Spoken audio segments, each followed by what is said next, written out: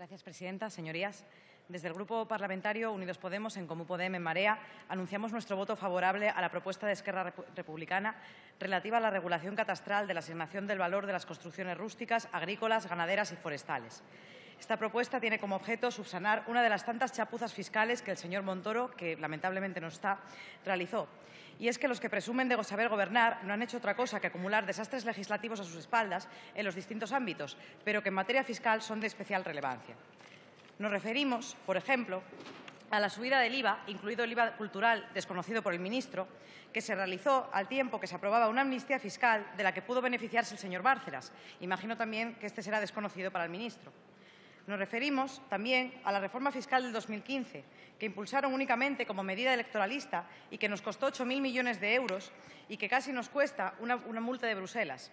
Pero vamos a la medida que nos ocupa hoy y que se refiere a la actualización del valor catastral que el señor Montoro diseñó y se plasmó en la Ley 16-2012 de consolidación de las finanzas públicas e impulso de la actividad económica. Me quiero referir a la disposición adicional tercera, relativa a los procedimientos de regularización catastral de 2013 a 2016 y a la disposición adicional cuarta, que se refiere a la valoración de las construcciones indispensables para el desarrollo de las explotaciones agrícolas, ganaderas o forestales localizadas en suelo rústico. Ha sido tan desastrosa esta medida en el mundo rural que ha suscitado las quejas de multitud de colectivos. La COAG, por ejemplo, ha denunciado el efecto de esta ley, pues ha supuesto un aumento desmesurado del valor catastral totalmente inasumible para los agricultores y ganaderos.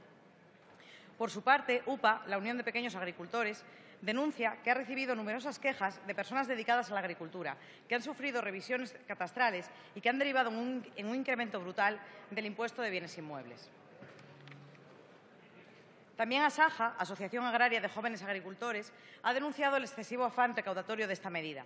Desde luego está claro que el señor Montoro tiene una gran capacidad para aglutinar colectivos en su contra. Y es que esta ley está plagada de errores, algunos de los cuales se han ido parcheando a medida que, han aparecido los problemas. Porque con la aplicación de esta ley, muchos agricultores y ganaderos vieron incrementado el valor de los impuestos sin que en la realidad hubieran tenido un aumento de valor o de ingresos.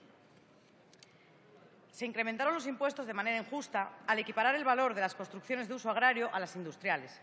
Pero además se acrecentaron los impuestos a pagar tanto por edificaciones que incrementan el valor, como sucede con una construcción para el manejo post cosecha, como almazaras o almacenes de grano, como por aquellas edificaciones que no generan incremento de valor alguno.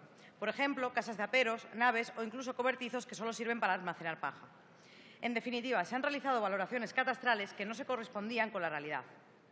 Entiendo, señor Montoro, aunque no esté, que tengan ustedes problemas a la hora de calificar y grabar las edificaciones en suelo rústico, si creen aún que el chalet de 155 metros cuadrados del señor Pedro Sánchez en La Rioja es una casita de aperos, como alegó el expresidente autonómico.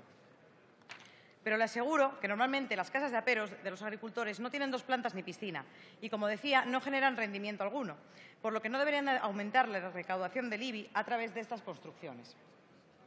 Sí creemos, sin embargo, que es necesario incrementar los recursos públicos y la utilización más eficiente del IBI para cerrar la brecha de ingresos públicos que España tiene con Europa y que ustedes solo han ayudado a incrementar.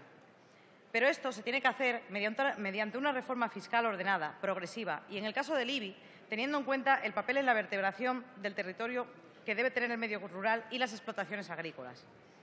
Para recaudar más con este impuesto, le recomendamos, por ejemplo, que graben de una vez los bienes propiedad de la Iglesia. Pero, en fin, esta medida muestra la sensibilidad de su Gobierno respecto al papel que debe jugar el medio rural en el modelo productivo de nuestro país.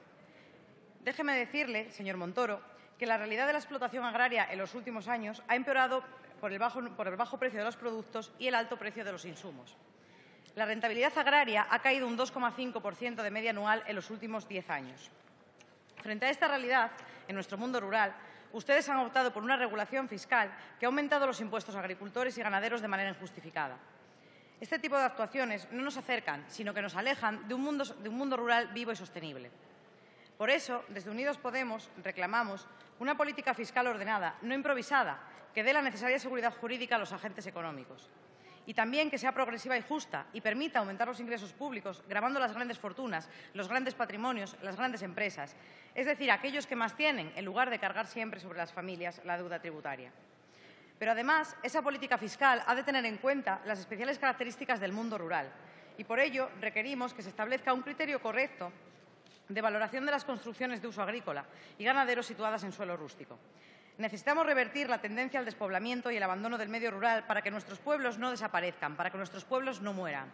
Por eso reclamamos una política fiscal que no castigue y machaque la vida de los agricultores y ganaderos. Una política fiscal que nos permita, en definitiva, tener un mundo rural vivo. Muchas gracias.